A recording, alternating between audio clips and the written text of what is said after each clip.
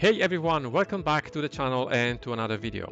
So today we are going to install AppArmor on Arch and we are going to go through the Arch wiki to explore its options.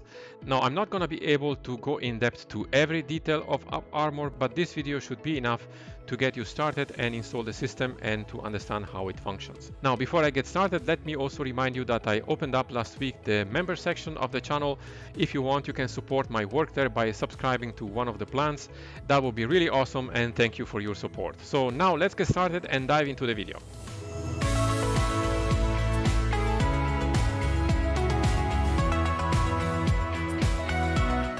So here I am on a fresh install of Arch. This time I installed it with the Cinnamon desktop environment just for this demo. And so let's get started here and configure our installation with AppArmor. So the first thing here, let's open up Firefox or any browser. And let's type in here Arch AppArmor. So I'm going to follow here the Arch wiki and I need to change the language. There you go. And the first link we have here is the AppArmor link. And I'm going to pull it here on the side. And I'm going to pull over also a terminal here and put it on the right side and increase the font size so that you can see both windows side by side. So as you remember, I did a video about SE Linux some time ago and AppArmor is also an LSM or Linux security module. So as you can see here in the Arch Wiki, AppArmor is used in most distributions like Ubuntu and SUSE and other distributions. All RHEL-based distributions like Red Hat, Fedora, CentOS and other RHEL-based distros are using SE Linux. Now SE Linux, as I already explained, explained in the other video, attaches labels to all files, projects, and objects and is therefore very flexible, as it says here in the wiki. But it takes quite a lot of work to configure it if you don't have it already installed in the system. So AppArmor on the other side works using file path instead of labels, and the configuration is pretty easy. So having said that, let's go down here to the installation. And you can see here it says AppArmor is available in all officially supported kernels. So we have it available in our kernel, but it's not active by default. Now to enable AppArmor as a default security on every boot, set the following kernel parameter, which is this one right here. Now, if we check these commands here to check what security modules are currently loaded in our system, we can copy this line here and paste it in the terminal. And as you can see right now, we have Landlock, Lockdown, Yama, and BPF. So we have the same ones, but we don't have AppArmor. So we need to add this line basically to the kernel parameter. How do we do this? Well, first of all, let me copy this line here by right-clicking here and click copy. And we need to open the grub configuration file. So let's type in sudo vim. I'm Using vim here, you can use any other editor slash etc slash default and then slash grub and hit enter we need to, of course, authenticate. And we can go down here to the grub command line Linux default. And we go to the end of the line, basically. Let me actually reduce the font size so that I can see also more letters. And we can insert this uh, line that we just copied by hitting Shift Insert on the keyboard. And you can see now we have it right there. So this is not all. We need to save this file and exit. And we need to rerun the grub configuration command. So let's type in sudo grub dash mk config dash o for the output goes under slash boot slash grub and slash grub dot cfg and hit enter. So we have a warning here regarding OS Prober. We're going to leave this as it is because I don't have anyway OS Prober here and we don't have to worry about this for now. And the next step, as you can see here, you can install AppArmor for user space tools and libraries to control AppArmor, and then we can enable the service. So let's do that. Let's type in sudo pacman dash s and then AppArmor and hit enter. And you can see it's not installed, so we can just proceed with the installation. And now we can enable the service by typing in sudo system ctl enable we can also do dash dash now to enable it right now, and then apparmor.service and hit enter. And now the user space utilities are up and running. Now, if you have a custom kernel here, there is another part that you need to configure. I don't have it here, so I will not go through it. But if you do have a custom kernel, you will need to follow these two steps here, which are actually fairly simple. Now, to see if AppArmor is up and running, we can type in, in here AA-enabled and hit enter. And you can see that it says maybe policy interface not available. That's because we need to reboot once the machine. So let's do that very quickly. Let's type in reboot and boot up our installation. Enter the password here. And let me open up again Firefox, which is going to ask me, there you go, to restore the window. Didn't ask me, that's even better. Pull up here again on the side and let's try to retype again AA enabled here. And you can see now it says yes. So the next step, to display the current loaded status, we can use AA status as a sudo user. Why sudo? is because we have the hashtag in front. That means we need to use the sudo command. So sudo AA-status. So I'm going to do the fonts a little smaller here because I'll have a long list of things. We need to authenticate, of course. And there you go. So this is all the list that we have. We have 51 profiles are loaded, 51 profiles are in enforce mode. So each line here defines a profile for armor, which is enforced right now in the system. And we have right now, you can see two processes have profiles defined and two processes are in enforce mode.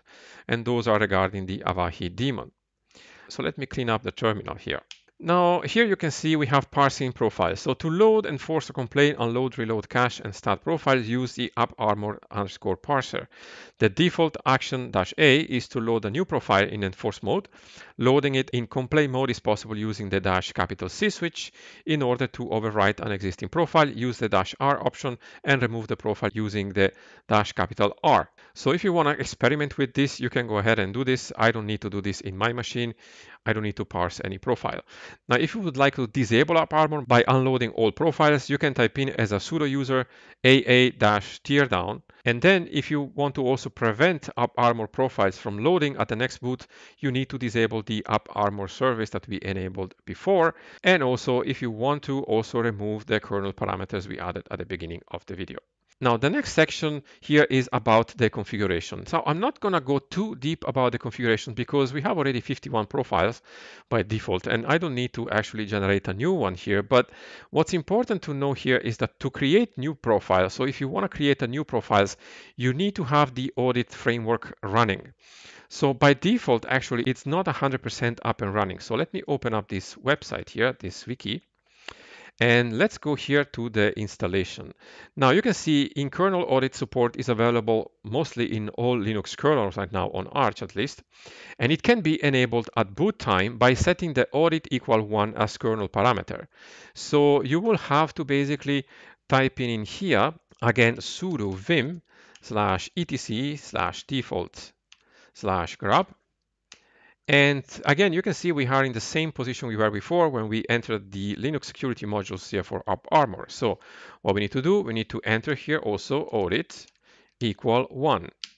And we need to also regenerate the configuration file for grub. So sudo grub dash mkconfig dash o slash boot slash grub slash grub dot cfg and it's going to take a moment to do that. So the next time auditing will be available when we boot the machine. Let me now clean up the terminal. And the next step here, you can see for user space support, install audit and start enable the auditd service. Now, audit should be actually already installed, but maybe it's not active. Let's check this out.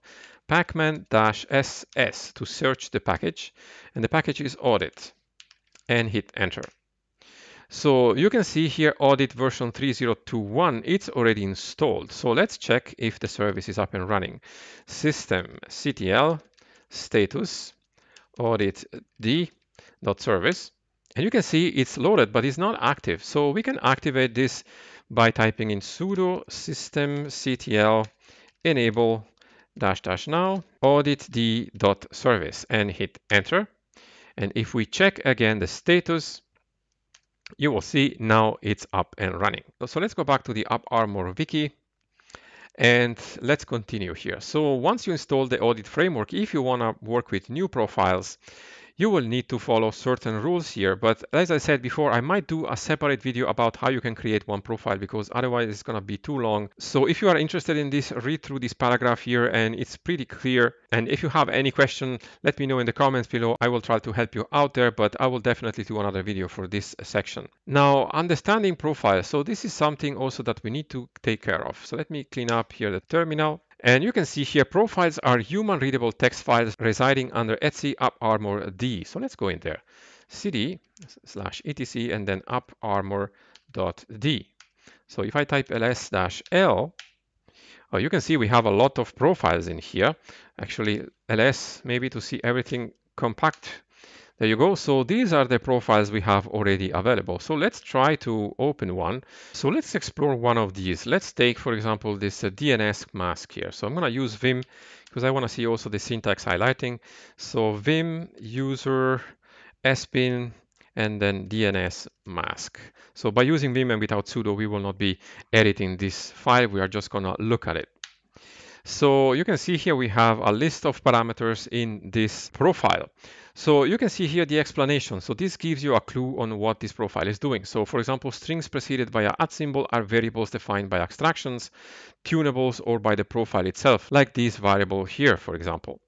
We have in some modules also the include, includes other profile files directly. And then we have the permissions. You can see, for example, here we have R, R, R, and then we have on some of these also other permissions like RW.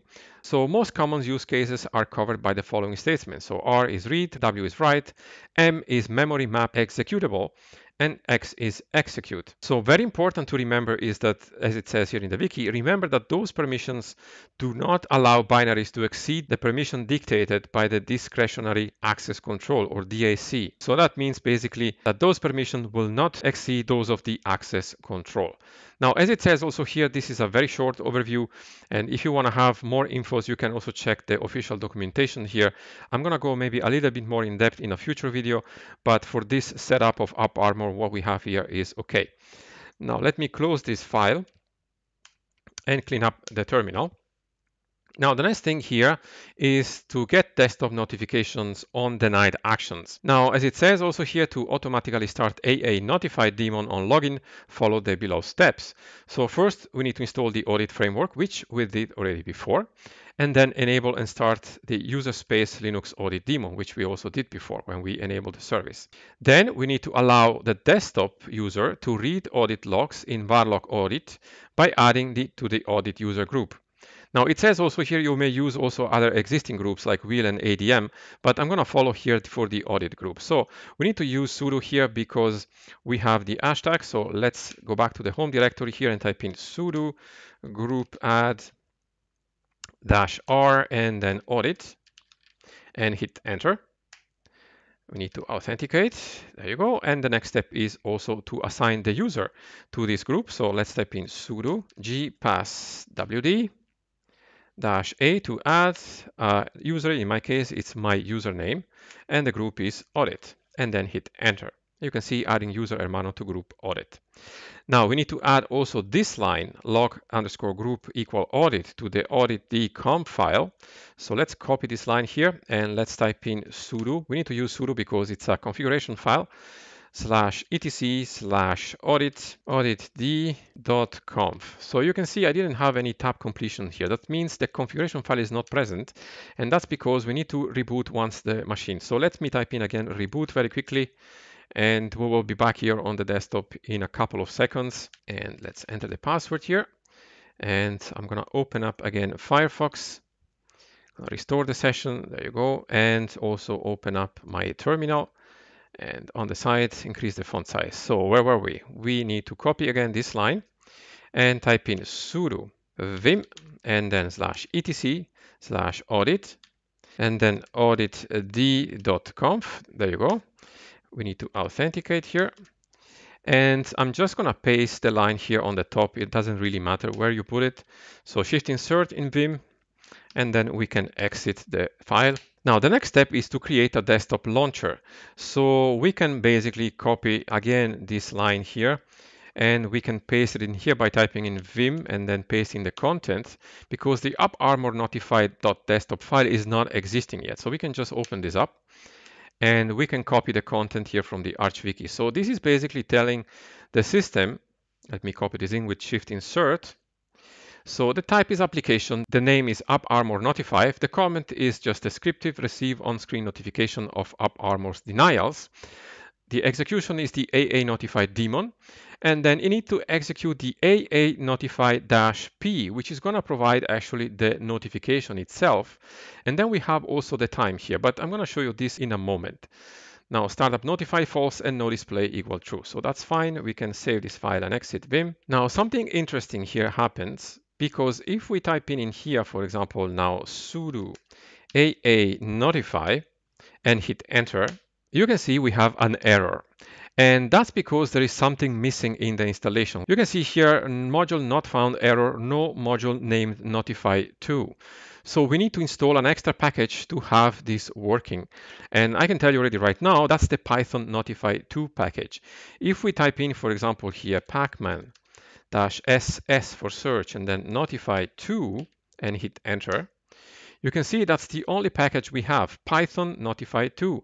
So what we can do here, we can type in sudo pacman-s and then python dash notify2 and then hit enter to install it.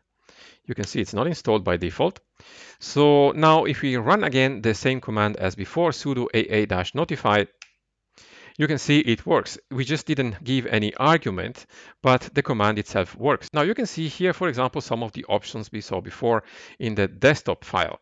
So the P option, the poll option, it's basically polling AppArmor logs and display notifications. And the other one was the W. The W here, wait a number of seconds defined there, which was 60 seconds, before displaying the notification. This is in combination with the dash P option. So you can modify actually the desktop file to your liking by using these options if you want to do that. So basically now the notifier is up and running and when there will be some denial in the system, I will be notified by it. Now, another thing which is extremely important, especially for those of you who have older machines. Now, you can see here, since AppArmor has to translate the configure profiles into binary format, it may significantly increase the boot time. You can check current AppArmor status with this command. So my machine, for example, here, it's pretty fast, so I don't actually need to do this. You can see if we paste in this content, it tells me that to start the service, it takes 928 milliseconds. But if you have an older machine, it might take much longer than that. So you need to, in this case, cache the AppArmor profiles. And to do this, we need to change one line in the parser.conf file. So let's type in sudo vim slash etc slash AppArmor and then parser.conf. And let's search here for write cache, which is right there. So what we can do here, we can basically uncomment this line. So now we can save this file and exit Vim. And now it says here reboot and check AppArmor startup time again to see improvement. Now I'm not going to do this, but if you reboot your machine and run again the same command as we run before, you should see an improvement in the startup time of your system. So there is also another thing here. You can see here for the troubleshooting. So failing to start Samba CIFS server. Now for this, we need to open another page here. I don't have Samba installed here, but I'm just going to show you what the problem is. So this is a permission issue on AppArmor. So as you can see here, it says if using a share path located outside of a home or user shares directory, you need to whitelist it in this file here. So you would just open up this file SMBD. This is basically one of the profiles for AppArmor. And then you need to set these options here and then you can reboot your machine and you should be good to go. So this is a quick overview of how you can install and enable AppArmor on your machine. Now, again, I will do more videos about AppArmor in the future, especially for profiles and maybe also the framework and the audit the service. But to get started up here, I think it's enough information for now on Arch. AppArmor is installed already by default also in many other distributions. Every Ubuntu-based distribution is using AppArmor. And if you're using a RHEL-based distro, as you probably already know, you have SE Linux, for which I have done already a video on the channel. So this is how you can install AppArmor on Arch Linux. Again, it's not that difficult and it's not that too complex as SE Linux is. And as I said also in the video, I will do other videos for AppArmor in the future as well. So if you try this out, let me know in the comments below. Or if you have any suggestion for the community, let me know also in the comments below. This is always useful to know. And I hope also that you like the video. Again, I remind you guys, you can become member of the channel if you click the join button under the video there. It will help me a lot if you support my work. So I hope also that you liked the video. If you did, please hit the thumbs up and subscribe to the channel if you haven't already. That always helps me out. And you can also become a Patreon if you want to support my work, or you can also donate via PayPal to my website as well. I thank you very much for your support, guys, and I'll see you very soon in the next video.